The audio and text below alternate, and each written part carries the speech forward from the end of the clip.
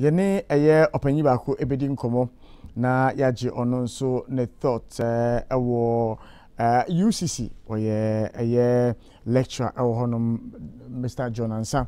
Ɔyɛ political science lecturer ɛwɔ ucc ɔno nso no yɛne no ani nkɔmɔ yɛhwɛ sɛ yɛn nsa bɛka ɛyɛ mr benefson ɛɛ daily dispatch a wɔsan so ɛyɛ well known ɛyɛ ɛɛ obi a ɛba no elections ho nsɛnsɛm a wɔte aseɛ paa aborɔfo kasɛm no yɛbɛfrɛ no poster. Yɛn no ɛbɛdi nkɔmmɔ within the next fifteen minutes a yɛwɔ no. Nti yɛn nsa ɛka ɛyɛ mr. Nsa yɛn no bɛdi nkɔmmɔ no yɛbisa no sɛ ɛɛ anyɛ biara no. Ɛɛ wɔn nso so no report sɛ wɔn ho a n'adwenkyerɛ ɛwɔ report no ɛho no ɛte sɛn na ɔno nso ɛde ama yɛ but menhwɛ sɛ ɛɛ ɛɛ okay ɛm sɛ yɛn nsa aka uncle ben yɛn no ani nkɔmmɔ ɔyɛ poster ɔsan so ɛyɛ the senior editor ɛma ɛyɛ ɛɛ the daily dispatch newspaper yɛne no ɛni nkɔmɔ anaa the editor sorry of the daily dispatch newspaper yɛne no ɛni nkɔmɔ uncle ben good morning. good morning. mpɔtɔ na anɔpɛ mpom te te dɛn.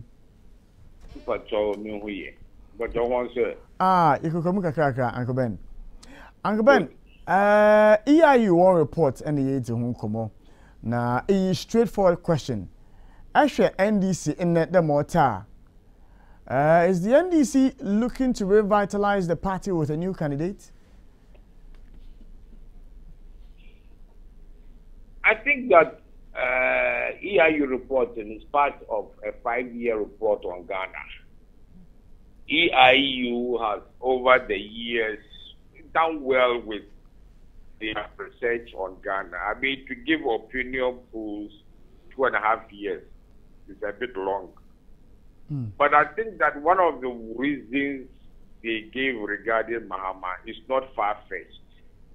Mm. I'm completing my seventh book on Ghanaian elections, and one of the reasons I've been doing some work on why NDC lost heavily because NDC won 30 of their 32 seats back that they lost in 2016, but the presidential candidate lost by as much as 540,000 votes.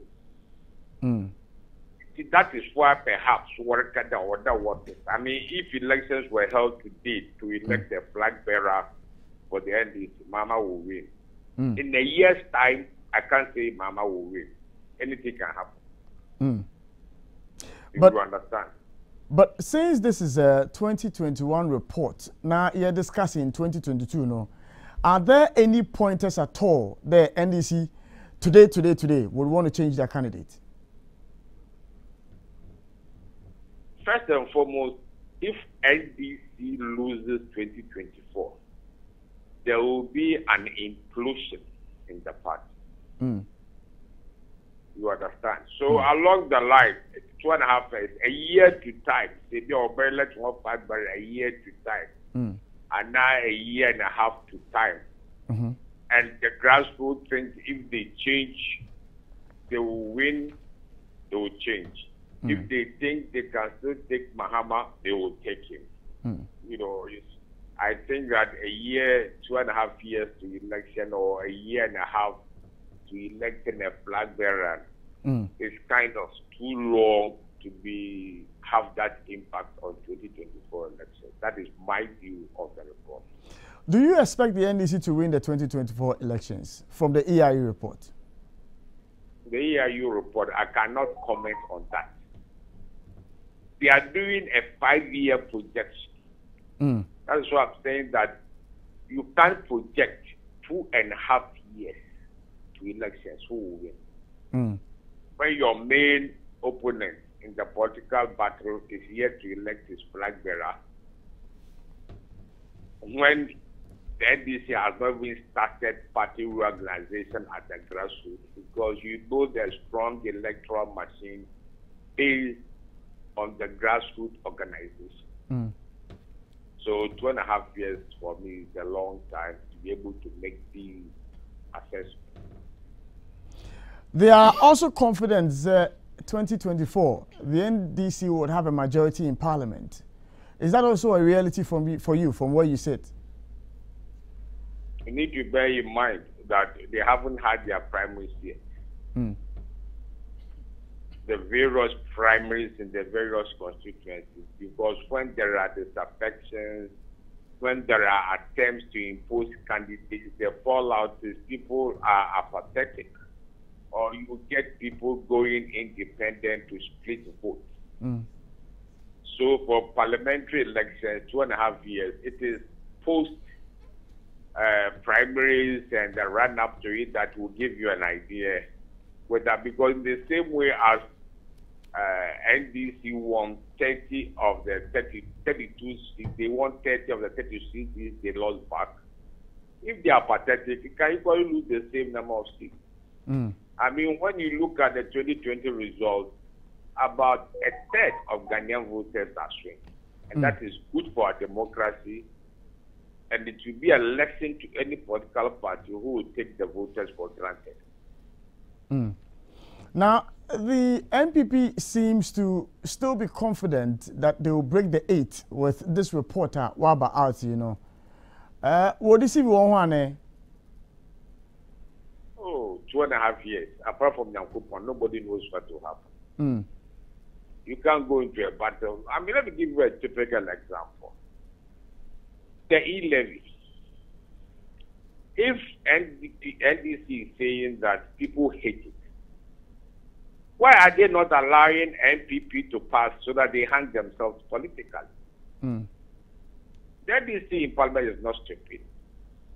They know that in the absence of the e-levy to get funding, the government may have to go to the IMF they go to the IMF, one of the conditions is scrap free tickets.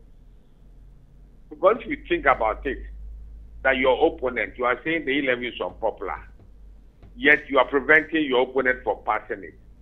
They are not working for the interest of NPP. they are working for their own interest. You understand? Mm. So definitely, I mean, two and a half years is a long time. Mm. On the back of argument, uh, if the passage of the e-levy inures to the benefits of the NDC, uh, why why are they kicking against it? Obinsu there. If the EIU report says there, uh, with John Dramani Mahama, the NDC might lose the 2024 elections. Uh, should the NPP not also be re rejoicing? If that is the case. No, no, but I think that I'm telling the, the EIU report Mm. I don't usually comment on people, so and you can't do an opinion for two and a half years to elections. Mm. It's unrealistic. Mm. You understand? They are doing their projections part of a five-year report. Mm. Your main opponent is yet to elect his flag bearer. There could be problems arising for the election. Mm. Maybe they will choose a candidate the NDC wants. And there are a lot of there are a lot of ifs and buts. Mm. So you can't do opinion polls two and a half years if you say you are giving a projection as to what will happen maybe by October this year, fine. But you can't do talk about what will happen in December 2024 in April 2022. It, it's just not realistic. Final question here. Mr. Dufo, Dr. Dufo, Nansen, uh, he's been making some incursions. Nansen will launch a program be to resource the party's base, uh, the masses, not the Mabutu Wage and Wanando. Uh, does he stand a chance? It's too early. He just started. You mm. know, in the earlier convention, I think I said that if elections were held in April 2022, to elect a flag bearer for December 2022 elections, if there's going to be election, ah, Mahama will win. Mm. A hmm. year's time, I can't say Mahama will win. You never know. A year is a long time in politics for things mm. to change. My final question.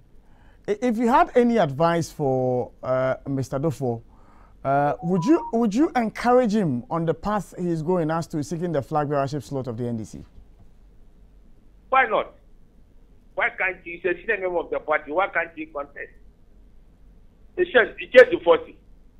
But uh, she can contest for the flag bearership of ND. Mm. Anambua. True. Yes. What can for do it? Nothing stops him. Mm. And there may be one or two more credible candidates. You never know. Mm. Can, can he win an election for the NDC, hypothetically? Pardon? Hypothetically, can he win Yes. an election for the NDC? It's too early. You're asking me to guess. And the nature of the work I do, I don't guess. Agban, mɛdɔ ase ɛɛ mɛbɔ ɔfisi akyɛ ɛnɛ mɔbɔ mɔden anum afa hɔ Marty, I ya. for you. mbɔchɛ yi agban mɛdɔ ase anapɛ. That's